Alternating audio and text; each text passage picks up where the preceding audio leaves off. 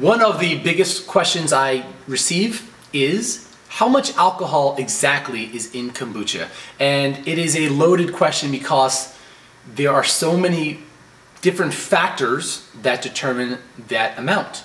Okay, so namely, um, how much sugar you begin with, how much sugar you end with, how much um, the um, temperature is, meaning like how high the brewing consistency is, how long you let your kombucha tea ferment for, and when you go to bottle your kombucha tea, what the temperature is of that as well. All right, so those are just a few factors. Um, generally, following the basic kombucha recipe that we have on our site, you're looking at, if you're a home brewer, you're looking at around 0.05 to 1% alcohol content. What does that mean? Well, a beer is usually um, anywhere from 3.5 to 6%.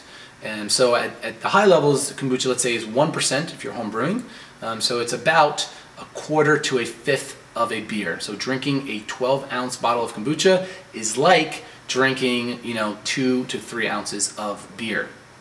Okay, so does that mean that all kombucha has that amount of alcohol? No, there are certain specific te techniques that you could do to increase that level of alcohol.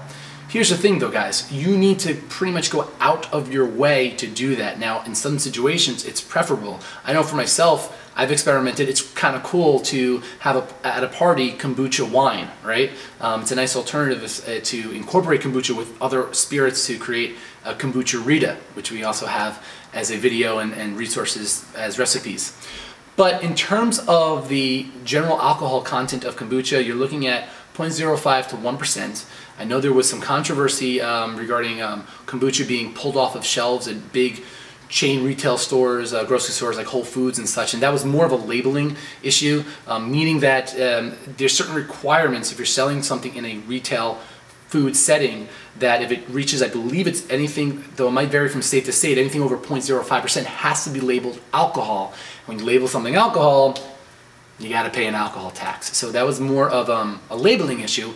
Uh, just to keep things in mind, if you took fresh squeezed orange juice and let that sit out for a few hours, you're also looking at an alcohol content around 0.03 to 0.68, you know, 0.8, uh, 0.08%. So all fermented foods have alcohol in it to some degree. Kombucha mainly gets converted though, if you're following a basic recipe, the, the alcohol continues to get transferred uh, into uh, acetic acid. So the preservative effect is more of a vinegar preservation than an alcoholic preservation. So why do you feel so good? Well, how do you feel after you do yoga? How do you feel after you go for a walk? How do you feel after you get a good night's sleep? Right? So when we're doing something good for our body, we feel good. Um, so that drunkenness is really just a sign of feeling good. To get even more free kombucha videos to take your kombucha brewing to the next level, check out getkombucha.com backslash free.